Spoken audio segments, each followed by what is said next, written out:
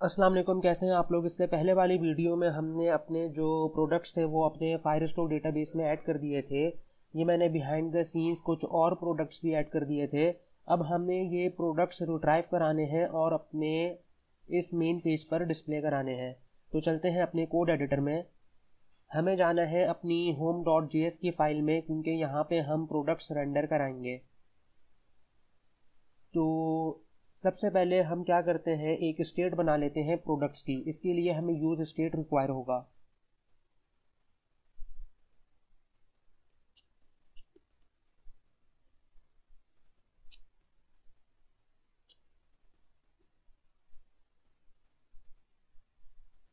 Products की जो state है, वो बाय डिफ़ॉल्ट एक एम एरे होगी। इसके बाद हम एक फ़ंक्शन बना लेते हैं। गेटिंग प्रोडक्ट्स फ़ंक्शन और इस फ़ंक्शन में हम अपने जो प्रोडक्ट्स हैं, वो फायर स्टोर से रिट्राइव करेंगे। ये एक एसिंक्रोनस फ़ंक्शन होगा।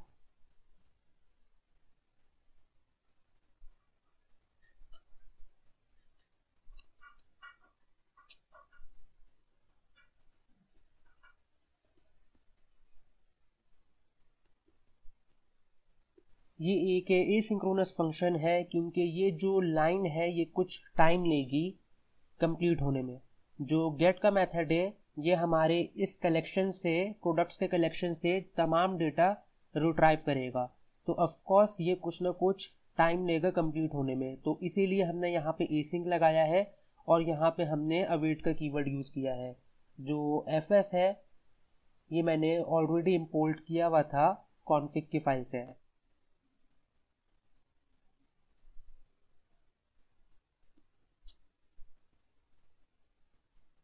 अब हम यहाँ पे एक एम टी एरे बनाएँगे देन उसके बाद हम यूज़ करेंगे फॉर ऑफ़ लूप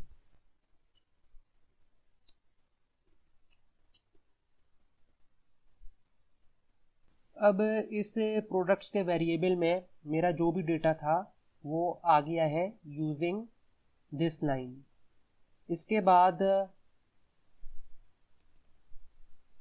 इस स्नैप में products dot doc dot doc sorry products यहाँ पे यूज़ हुआ हुआ है, और इसकी एक प्रॉपर्टी है डॉक्स जिसमें तमाम डॉक्यूमेंट्स यानी जितने भी मेरे पास प्रोडक्ट्स हैं, वो आ जाएँगे। तो यूजिंग प्रोडक्ट डॉक डॉक्स तो जितना भी डेटा है, वो इस स्नैप में आ जाएगा। अब हम क्या करेंगे वाल डेटा इक्वल टू हम कर सकते हैं स्नैप डॉट डेटा तो जितना भी हमारे पास डॉक्यूमेंट का डेटा होगा, वो इस डेटा के वेरिएबल में सेव हो जाएगा। हमें आईडी की भी नीड होगी तो यहाँ पे मैंने एक आईडी भी ऐड करा दी है इसी चीज़ में।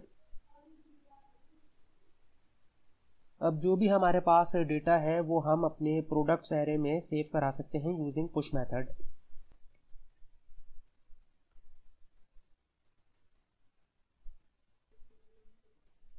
अब हम एक इफ़ की कंडीशन यूज़ कर सकते हैं कि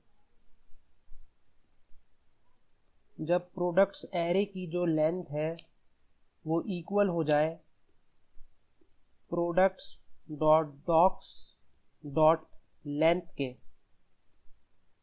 तो क्या कर दो? सेट प्रोडक्ट्स कर दो। तो इसमें पास करा दिया हमने प्रोडक्ट्स एरे तो अब हमारी ये जो स्टेट है, इसमें तमाम डेटा आ जाएगा फायर स्टोर से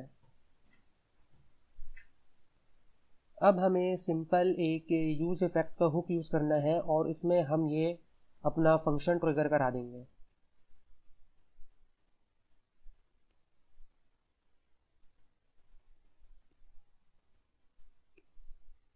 अब जो भी हमारे पास डेटा है, वो इस प्रोडक्ट्स के प्रोडक्ट्स की स्टेट में आ रहा है। तो इसी बेसिस पर हम क्या करते हैं, सबसे पहले मैं इसको हटाता हूँ और एक ब्रेक टैग यूज़ करते हैं हम यहाँ पे। और इसके बाद हम एक कंडीशन लगाएँगे कि जब हमारी products dot length greater than zero हो तो रिटर्न कर दो ये वाला एच टी एम एल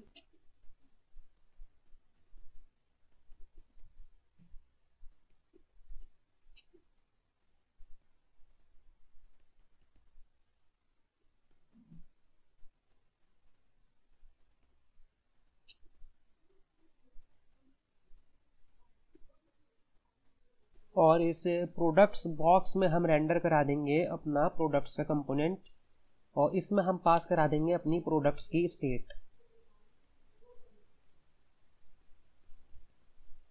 इस कंडीशन का मतलब ये है कि जब हमारी प्रोडक्ट्स की स्टेट में जो भी डॉक्यूमेंट्स हैं, यानी जो भी प्रोडक्ट्स हैं, उनकी लेंथ होगी ग्रेटर देन ज़ीरो इसका मतलब हमारे पास प्रोडक्ट्स हैं।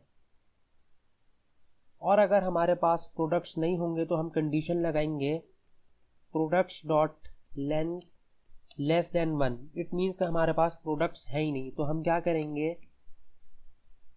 ये वाला सेक्शन रिटर्न करेंगे।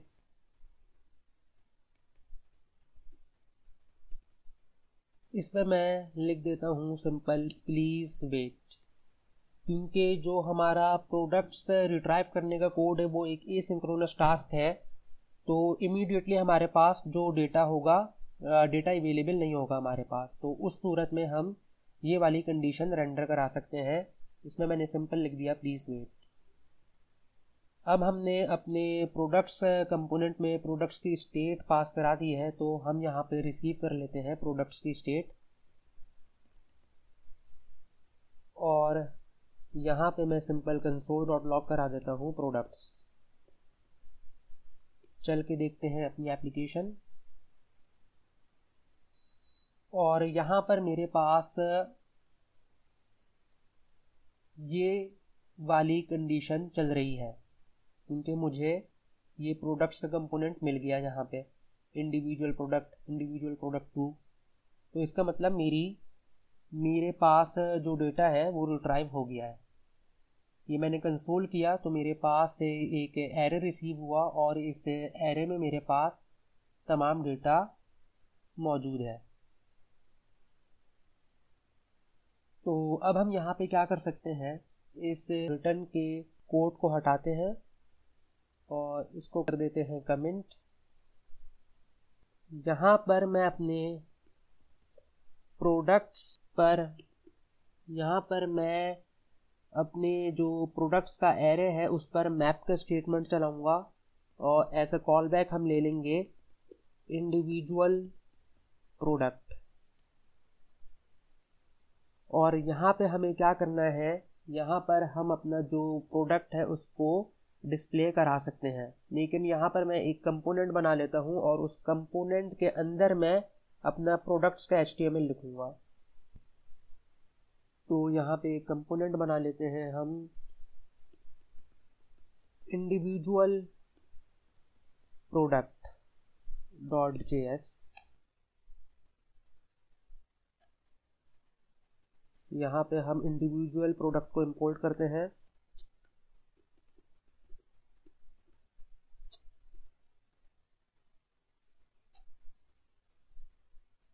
और यहाँ पे रेंडर करा देते हैं इंडिविजुअल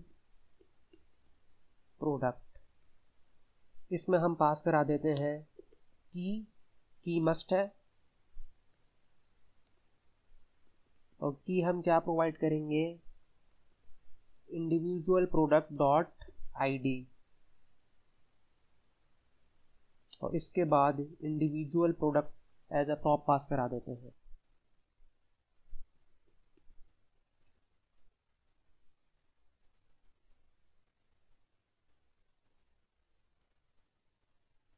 अब हम चलते हैं अपने इंडिविजुअल प्रोडक्ट में और यहाँ पे रिसीव कर लेते हैं इंडिविजुअल प्रोडक्ट यहाँ पे हम कराते हैं कंसोल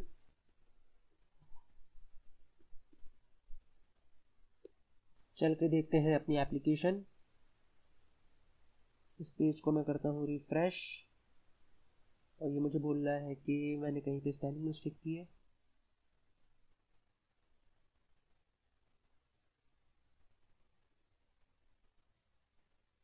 नहीं everything is just fine और ये मुझे कंसोल में डेटा मिल गया है। तमाम जो प्रोडक्ट्स हैं, वो मुझे इंडिविजुअली रिसीव हो रहे हैं। तो अब जब मुझे डेटा मिल गया है तो मैं अपना जो प्रोडक्ट है, उसका जो एच है, वो यहाँ पर मैं लिख सकता हूँ। तो जो प्रोडक्ट का एचटीएमएल है, वो मैं सिंपल कॉपी पेस्ट कर रहा हूँ यहाँ से। और यहाँ पे मैंने करा दिया पेस्ट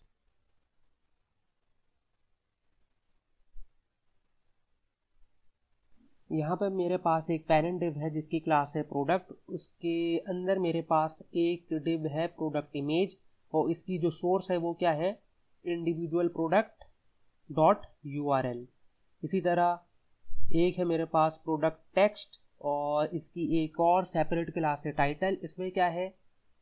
इंडिविजुअल प्रोडक्ट और डॉट टाइटल इसी तरह मेरे पास क्या है? डिस्क्रिप्शन है और प्राइस है. इसके बाद मेरे पास एक बटन है हैंडल एड टू कार्ट इसको मैं फॉर नाउ हटा देता हूँ. और चल के देखते हैं अब अपनी एप्लीकेशन तो आप देख सकते हैं कि जो हमारे प्रोडक्ट्स हैं, वो रिट्राइव हो गए हैं.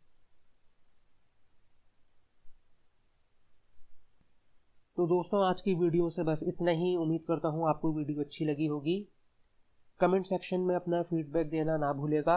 अब अगली वीडियो में हम क्या करेंगे, ये जो ऐड टू कार्ट के बटन है मेरे पास, इस पर एक फ़ंक्शन ट्रिगर कराएँगे और ये फ़ंक्शन क्या करेगा, हमारा जो भी प्रोडक्ट होगा, वो हमारे फायर स्टोर में एक सेपरेट कलेक्शन बनाएगा। जो यूज़र का एक कार्ट है, उसका एक कलेक्शन बनेगा और ये जो प्रोडक्ट्स हैं, उस कलेक्शन में ऐड हो जाएँगे। तो अगली वीडियो में मिलते हैं ऐड टू कार्ट की फंक्शनैलिटी के साथ। उस वक्त तक के लिए अल्लाह हाफिज़।